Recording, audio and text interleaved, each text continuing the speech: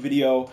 Uh, we're playing Free For All on Instinct on AW on the PS4, um, and this is probably the biggest team announcement that I've ever made uh, for the team, and probably the biggest announcement that ever will be made for the team. But if you cannot tell, and a couple of you, quite a few of you might be disappointed. To uh, we're gonna use ASM1, and we will mute everybody. But uh, a lot of you guys might be disappointed to hear this. Um, but this decision had to be made, and it was made for the better. It's gonna, you know, improve the team. Um, but you know, I, I kind of looked at the circumstances and looked at everything that we had going, and Zane, the the sniping side of Zane was dying. All right, I'm not gonna lie, you guys. We were losing players because uh, people were moving on to bigger teams. You know, if you're a sniper, you want all you care about is being in a higher subscribed clan. It's all about the subscribers. Yeah, yeah, yeah. But you know, to me, it's not about the subscribers. And to every single competitive player who wants to become big in esports, they could give a shit less about subscribers. It's about how good your team can be, team charisma, how good your team is, and just the potential that your team has as, as a competitive as a competitive team. And you know, Darkness and Nate were probably our best snipers um, previously because they they were hitting clips a lot. You know, big hats off to you guys for really putting in effort. And they were hitting clips a lot, and they had that dual Taj that came out, which was just absolutely insane. Yes, it was dislike botted by yours truly, Paul. But um, you know, they really, really were putting in effort, and they left to join a bigger team, and they're going to be joining Gateway because there's going to be a lot of people from higher subscribed clans, which snipers always want to get in a higher subscribed clan, so I would understand. And, you know, it, after that point, I kind of looked at things in Zane's Xbox sniping side, and we're not completely dropping PS4 players. I will talk about PS4 players in a second, but um, the sniping side was definitely dying, and it's it was it was necessary to make this decision. And I have I have many reasons which I find are completely logical, um, but you know, it's so obviously Zane is going to compete in the MLG Anaheim 2015 uh, LAN bracket this coming June, and we really need to focus on our esports side of things. You know, it was cool sni- making sniping montages and stuff, but I think doing this is a lot more serious because when we need to get to Anaheim, we need to be the best that we can be to order and take to try and take home a win. Um, hopefully, you know, if we're lucky, take home a win and just grow our team as an esports team and get known in the community and hopefully in the future continue going to MLG events and stuff like that. So the reason why we're dropping our snipers is because we really, really need to improve. You know, the leaders, Epsilon, Exodus, obviously, every, though they're people, they're going to stay as managers of the team. You know, they're going to help run the team. But you look at people like Zane Breach, who is working his ass off to build a really good United States, U.S competitive team. And then you look at the co-leader Epsilon, who is also leading EU to try and build the best EU esports team that he can. And it's it's definitely something that will help us be more prepared for Anaheim. And it's just the sniping side wasn't as as good as it was when we created or when I was given leadership of Zane. Because when Zane decided to step up their game, and we, when I was made leader of the clan, how did he even fucking whatever? We had a goal. We all wanted to, you know, this was back when it was me, Recoil, and Paul, and Zooms, and Zexo leading the clan. There's been so many co-leaders, you guys, but this was back when it was all of us, and we really wanted Zane to be known as a sniping team. We wanted them to be a team that was known in the community for sniping, for the content that they put it out for sniping, just montages in general. I mean, and then we decided to partake in Cog Zone and give competitive a try.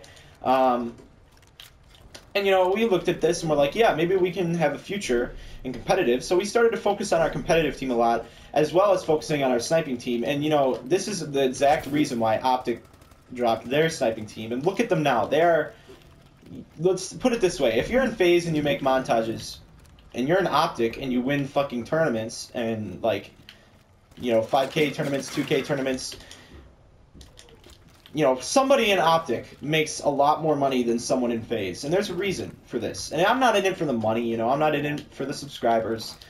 If you're in Optic, you win tournaments and you get paid shit ton of money for it. And you're in FaZe, yeah, you make money from your streams and your montages. People in Optic make that money too, but they also make a lot of money and they get a lot of re- reputation for being an extremely good professional Call of Duty player. And, uh, you know, we're going to focus on our esports, obviously. We're going to focus as much as we can so that when Anaheim does roll around, we are ready. Uh, we are fully prepared and ready for Anaheim. Um, so, you know, obviously, we might be competing in COG Season 2. I'm not sure. If Breach has his team ready and Epsilon has his team ready, then we will probably be competing in that against other teams, such as our fellow allied team, Sacred. Um, but we're going to focus on esports. We're going to make competitive commentaries that will be going on this channel.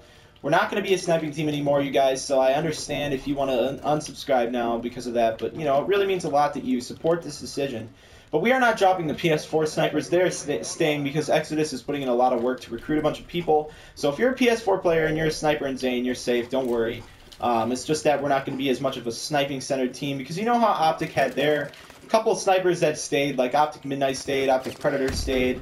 Optic Jewel stayed. A lot of optics, like Optic Diesel, stayed. So those people will be considered, you know, just the people who will be staying on the PS4, who will be here. And if they hit enough clips, then maybe we'll put out a sniping montage every now and then. But that will probably be rare. And I understand if you want to leave the team now because we're dropping the sniping team, but uh, if you can stay, you're more than welcome to stay in Zane. But what Zane is going to be focusing on is their uh, is their competitive esports side. You know, we're gonna I'm gonna talk to Epsilon and Breach, and I'm gonna tell them, you know, we're gonna try and make our competitive teams a lot better. We're gonna try and you know find the best players that we can and put them on our team. We're gonna go crazy. We're gonna go participating in game battles. We're gonna try and get as much pro points as we can for each player, so that when Anaheim rolls around, we will be ready to play. Um, and hopefully we will be prepped. We, we got a couple months, you guys, till June, obviously, and it's, it's January as of now.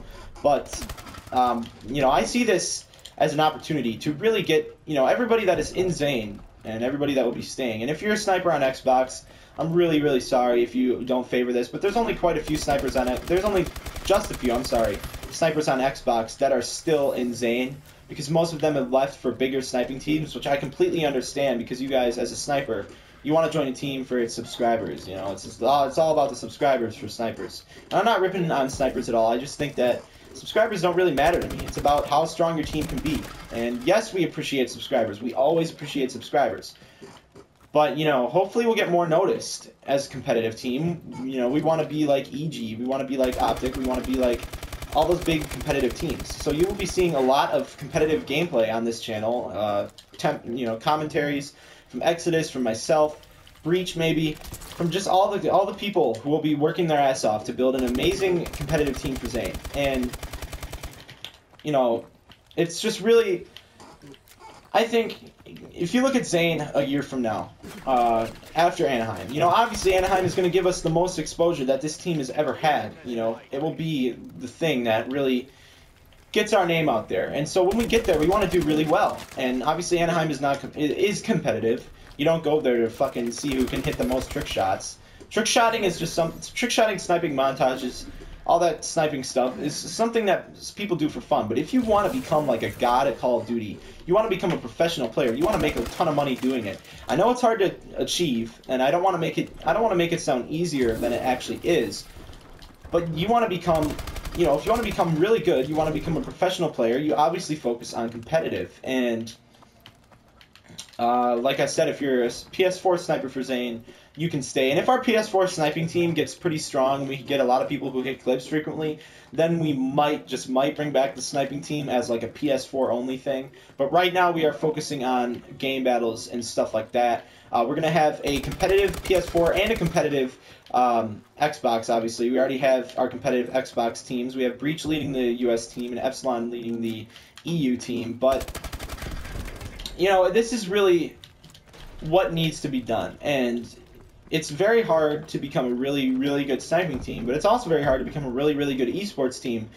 But I see more potential in competitive than I do in sniping on this team. So that's what we're going to do. And hopefully we'll get better and better competitive players with Epsilon and Breach leading the two teams, unless one of them decides to leave somewhere down the line. Um, but you know, hopefully a year from now, Zane will have a pretty good name in competitive esports. Hopefully, will be a little, you know, I'm not going to be on any competitive team. I'm going to be managing the team, uh, just like Exodus and Epsilon, of course, who is going to be a co-leader.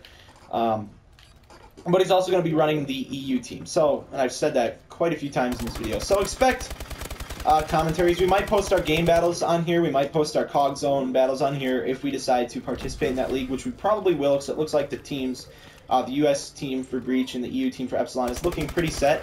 Um, that's pretty much all I got for this video, guys. I really hope you understand. I will update the roster as soon as I can. I'm sorry if you're disappointed to hear this. Um, PS4 Snipers, you're welcome to stay and uh, you know this this is really what needs to be done. And we're gonna we're gonna build our pro points build our game battles talent and hopefully become a, a really good esports team. So this is Blazze. I hope you enjoyed the video. I hope you enjoyed the commentary. Leave a like um, and subscribe for more videos. This is Blazze and i will see you guys later. Peace